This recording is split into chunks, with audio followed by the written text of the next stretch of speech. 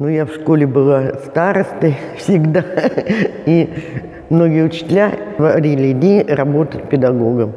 Поэтому я вот поступила в Московский пединститут имени Крупской на химию, биологию. Вот, закончила, и потом я работала на севере. Есть такой город Мегион, 30 с лишним лет отработали на севере. С детьми мы ездили в различные экспедиции. Потом я была научным сотрудником историко-этнографического музея и написала книгу «Этнография на уроках биологии с использованием народов Крайнего Севера». Я считаю, сейчас необходимо духовное воспитание детей, да и нам самим это нужно.